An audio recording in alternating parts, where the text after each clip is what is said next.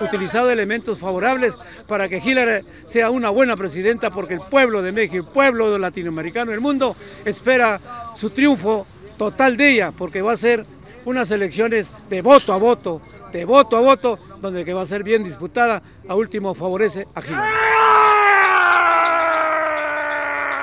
Porque la soberbia de Donald Trump cree que porque es millonario va a ofender a la raza humana, va a marginar a la mujer y va a odiar a ciertas personas. Su karma está negativo. Ya la hemos castigado con arena del mar, con la sal.